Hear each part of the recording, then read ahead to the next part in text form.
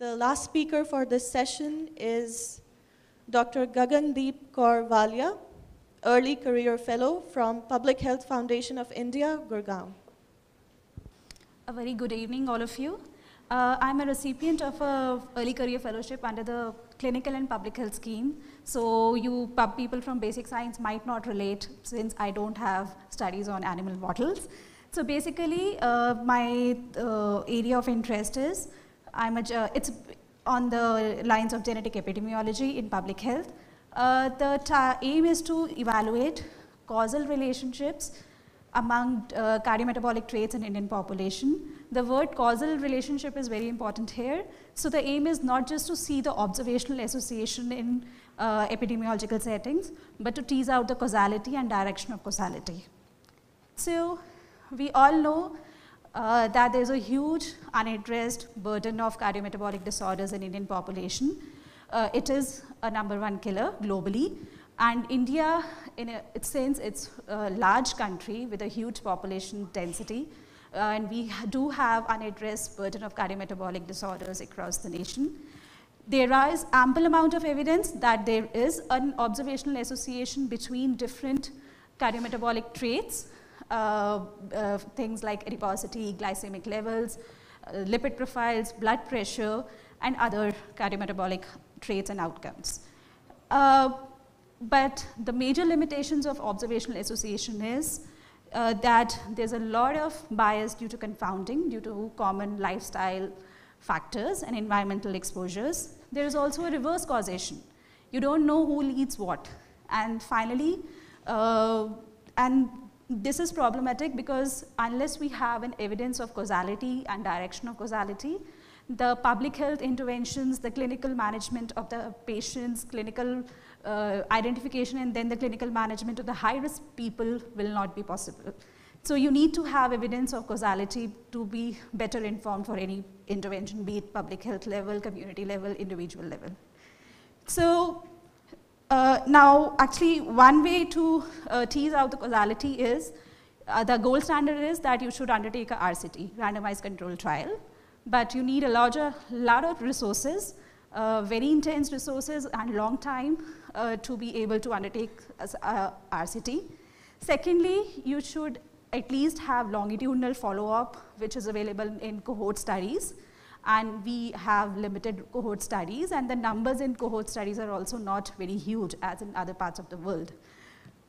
But uh, we do have a utility of genetics here. Uh, so there is something called an Mendelian randomization, which is uh, nothing but a statistical technique using instrumental variable regression analysis to examine causal relationships between exposures and outcomes by taking genetics as uh, proxies or instruments for the exposures. So for example, there is an exposure and outcome and the red arrow here represents that there can be a reverse causation. So you don't know who comes when. So the idea is that you take a genetic proxy of the exposure of interest and then directly relate it through instrument variable regression analysis and see if there is a causal association of the exposure with an outcome of interest. And if you are interested in knowing the direction of the causality, you can also do it in the reverse direction, which is known as bidirectional Mendelian randomization approach. So, but now the problem is the most important thing over here is that you need to have a reliable genetic instrument. And uh, most of the genetic genome-wide association studies which tells you what are the genetic proxies which you can use for your exposures on the causal pathways are being, have been conducted in European populations. And we Indians are very different from rest of the world. We are diverse within ourselves and different from others because we have numerous endogamous populations within India. Uh, uh, so we maintain our unique gene pools within populations and we are so in diverse in terms of cultural and lifestyle practices. Most, most exa important example is dietary patterns. We eat different things in different parts of the country, and we cook same things very differently in different parts of the country. So, so these uh, lifestyle factors then again interact with your uh, gene pool and thus manifest very differently. So Uh, we have limited genome-wide scans for things like rheumatoid arthritis, diabetes, and uh, one of the cancers, but not for a lot of cardiometabolic outcomes. And uh, so in a genome-wide association study, you are required to replicate your GWAS discovery phase findings in different populations. And mostly, uh, uh, the samples that have been used as Indian representatives in the previous GWAS are uh, the people, Indians residing in UK in LOLIPOP study, which have a very different environmental exposure than people living in India. And also they are themselves very heterogeneous. Uh, and even then, the replic uh, replication rates have been very low. For example, for lipids, the replication rates were as low as 35%. So we shouldn't just blindly follow what's being done elsewhere. At, at, least we should try and validate the GWAS before using them as instruments in our population and also try and explore how the effect sizes modify with the interaction with lifestyle factors. So I'll briefly go through the work, uh, the work of one of my master students where we focused on lipids and glycemic levels to tease out the causal relationship between them with the available genetic information we had in a population. So again, uh, as I just said, that there is in evidence that they two coexist. Uh, people who are diabetic generally have dyslipidemia as well and, vice, and the other way around. So uh, what we did was the objective was to tease out the causal association of NA and the direction of causal association. So the example over here was things like glycemic levels, HOMA beta, HOMA IR, fasting insulin, fasting glucose on one side. And among the lipid traits, it was triglycerides, HDL level, the good cholesterol, bad cholesterol, and the total cholesterol. So we did this in Indian migration study, which is a cross-sectional sib pair design, rural to urban sib pair designs, where we had uh, factory workers recruited from metropolitan cities along with their spouses, and their rural dwelling sibs were also invited to take part, this, in, part, of, part in the study. The primary aim of that study was to see the uh, differences uh, between rural to urban migration, how it affects cardiometabolic profile of the population, but they also had data available on genetics. Uh, so they, they, had genotype information on 35 SNPs related to glycemic levels and 9 SNPs related to lipid levels, in addition to detailed glycemic profile, lipid profiles, and a range of covariates, including diet and physical activity. So statistical plan, I'll, I have tried to make it simpler. So first of all, we did a descriptive analysis in terms of be, uh, the characteristics of the population in terms of uh, mean and SDs and percentages for categorical outcomes. As a preliminary step, we saw if there is observational association, if any, to begin with, uh, using mixed linear model and not just simple linear regression because it was a sib pair design, so we had to account for family effect. Uh, we did the, a range of quality checks, which is usually done in any genetic uh, data sets, and also think, and the things like Hardy-Weinberg equilibrium test, which is uh, done just in genetics data and not in routine epidemiological setting. So in the end, we had around 9 SNPs for lipid traits and 29 SNPs for glycemic traits that passed all the quality control checks. So now before conducting a, any Mendelian randomization analysis, there are three major assumptions that a SNP should fulfill. First of all, it should be robustly associated with the exposure. First of all, that's, that's when you can treat it as an instrument for the exposure. So this was done in this particular population using a, a mixed model again, assuming additive model of inheritance. Secondly, your SNP or the instrument shouldn't be associated with any confounder because otherwise it will have the same confounding bias which a routine observational association analysis has. And thirdly, and most importantly, it should be associated with an outcome only through the route of exposure and not independently. In other words, the gene should not have pleiotropic effect with the outcome. It shouldn't be associated with both exposure and outcome independently, like a, like a confounder. So, uh, the SNPs that passed all these assumptions were used to derive allelic scores, weighted allelic scores. So instead of a single SNP, we derived allelic scores to be used as instruments for the exposures of interest. Again tested for those three assumptions and then finally undertook uh, instrument variable regression analysis using two-stage least squared method, which is a statistical technique. And if we found a causal association in IV analysis, suppose for example for triglycerides we have three SNPs, so the range of combinations were used so to see independent causal effect of each of the SNP and the combination of any two of them rather than taking all three together. Okay, so results, we found, although they all were observationally associated with one another, but we found causal association only between triglycerides and the glycemic levels and that too not with the fasting glucose.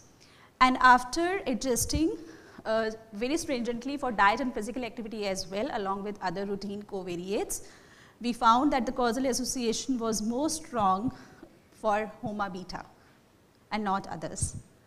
And there was no causal association in the other way around, which means uh, which means glycemic levels were not causing dyslipidemia, it was dyslipidemia which was causing the, uh, which were raising or which were affecting the levels of glycemic traits. To conclude, triglyceride had the most strongest causal association with the glycemic traits. Uh, the strengths were that we didn't rely on single SNPs. We used allelic scores as instruments which improves your power as you can explain more proportion of the variation of the exposure and it also accounts for the uh, issues of pleiotropy and others.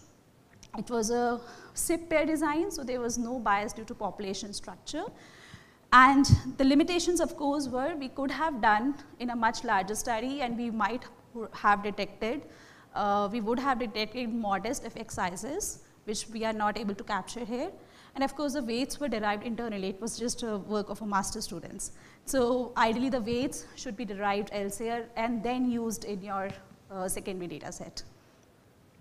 So on similar lines, my own fellowship is focused on regional body fat distribution and not overall adiposity and lipid profile to see if regional adiposity like my, my main focus is on central adiposity rather than overall, overall adiposity and how is, if it's, if it's causally associated with lipid profile. Uh, attempts have been done in other parts of the world, but the, there also the main focus has been on overall BMI rather than things like person trunk fat, waist to height ratio or waist to hip ratio.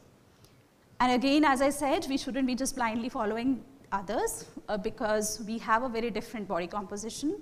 We have a very different body fat distribution and also we have a different lipid profile. The problem we have is low HDL levels rather than high LDL levels. So uh, again, going to back to the figure, the focus here is more on the anthropometric and in this, and the measures that we get from things like bioelectric impedance data in terms of uh, body fat distribution and the lipid profile. So the work plan is that uh, uh, we have available data on the same IMS population for cardiometabolic chip array, which is a collection of 200,000 SNPs related to different cardiometabolic conditions. But it is a collection of loci, GWAS loci, that was done till 2010 to 11. So it's outdated. And plus, it was uh, the collection of GWAS loci again done in European population. So in addition to the cardiometabolic array, we will also generate genome-wide data on another study population, which is known as CARRS. It's a longitudinal cohort. Uh, by using global screening array, which is a Illumina uh, uh, genome-wide array. And so that will help us identify if there are any Indian-specific novel loci for different cardiometabolic traits. And also, IMS was a cross-sectional study, while CARRS is a longitudinal data. So it is it will be more beneficial. So ultimately, those the, both these data sets will help us derive allelic risk scores for a range of cardiometabolic traits for which phenotypic data is already available, and then undertake Mendelian randomization analysis. I would like to thank my experts, my supervisor, my mentors who are experts in this area of Mendelian randomization and cardiovascular epidemiology and my collaborators who are helping me achieve this. Thank you.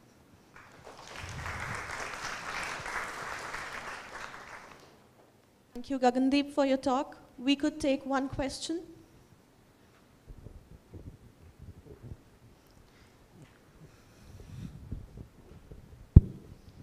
So interesting set of analysis. So the question I had was, uh, I, I, appreciate that you took the effort to distinguish between Indian population and Caucasian populations, but I'm just curious to know, uh, uh have there been studies done before on glycemic levels and, uh, and the lipid traits that you had tested for the Indian population? Is the causal effect size in the direction, is it similar in, in such tests or have your group uh, inspected it in uh, in Caucasian populations or other populations?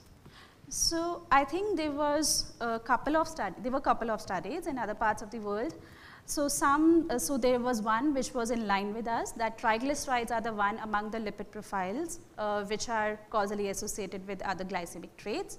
And I think there was one more which said probably HDL is also.